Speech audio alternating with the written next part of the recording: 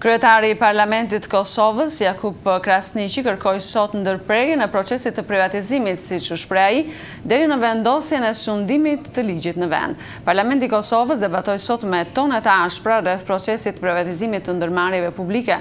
Përfaqësues të qeverisë i hodhën poshtë kërkesat për ndërprerjen e privatizimit duke theksuar se ai është i domosdoshëm. Nga Prishtina njofton korrespondenti Besim Abazi.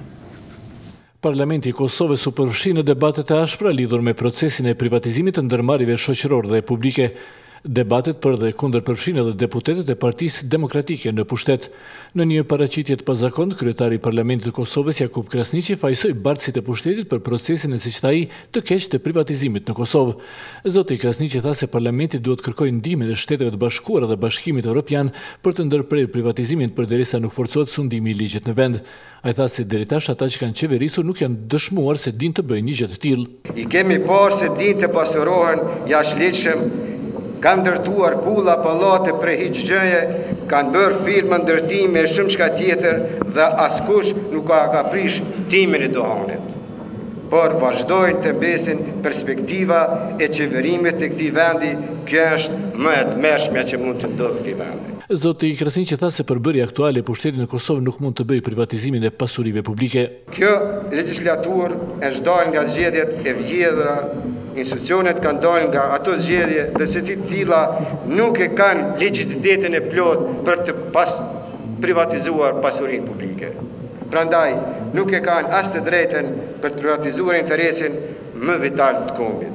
Ne jemi të obliguar që qytetarëve tanë t'ua kthejmë besimin në institucione, për të cilat ka sakrifikuar shumë, dhe besimin në përfaqësimin tonë nëse nuk dëshirojmë të bëhemi vrasës të ardhmërisë e të demokracisë në Kosovë. Debati për privatizimin ishte kërkuar nga Lëvizja Vetëvendosje e cila kundërshton ashpër shitjen e ndërmarrjeve publike si Posta dhe Telekomi i Kosovës që është në proces e sipër të tenderimit.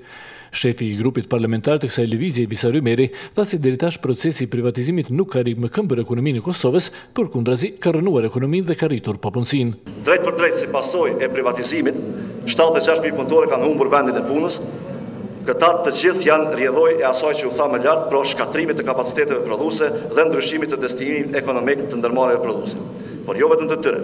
Të gjitha ndërmarrjet e privatizuara e kanë reduktuar numrin e punëtorëve në minimumin e domosdoshëm, duke e rritur kështu eksploatimin e punëtorëve edhe keqpërdorimin dhe shfrytëzimin e këtyre punëtorëve. Ministri i Zhvillimit Ekonomik, Besim Beqaj tha se privatizimi është proces i domosdoshëm ndërsa kundërshtoi kërkesat për ndërprerjen e tij. Dhe unë jam i bindur, shumë i bindur, se të gjithë ata njerëz të cilët nuk e përkrahin ekonominë e tregut, të cilët propagandojnë ekonomi të planifikuar dhe të centralizuar, të gjithë ata të cilët fatkeqësisht po pengojnë ardhjen e investorëve të huaj, të gjithë ata të cilët po dezinformojnë popullin, Dhe po bëjnë fushatë politike këtë po e bëjnë në dëm të zhvillimit ekonomik, në dëm të qytetarëve të vendit, në dëm të mirëqenies së tyre, në dëm të ardhmërisë së fëmijëve tanë dhe janë fatkeqësisht në anën e gabuar edhe politike edhe ekonomike.